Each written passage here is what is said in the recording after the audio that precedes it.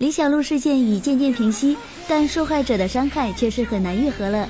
回看贾乃亮的长文，可谓是字字诛心，句句肺腑。他全文都在道歉，他对不起甜心，对不起岳父岳母爸妈，更对不起露露。可是，在网友看来，贾乃亮这些年一直做得很好，他把甜心教得懂事可爱，把双方老人照顾得年轻健康，也把李小璐宠成了公主。